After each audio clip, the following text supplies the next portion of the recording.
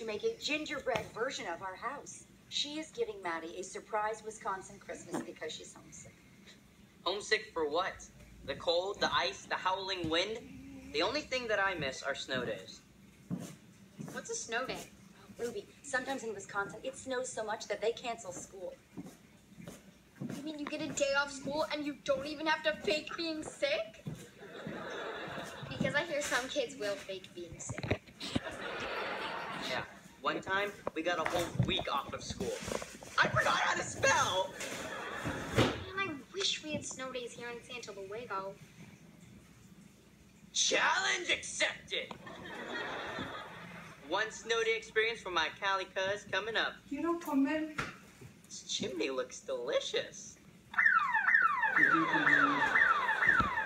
Yeah, I took precautions so you wouldn't destroy our house again.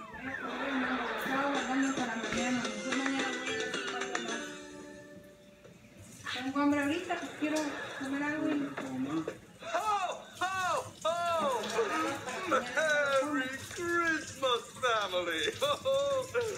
Mom, your light placement is awful.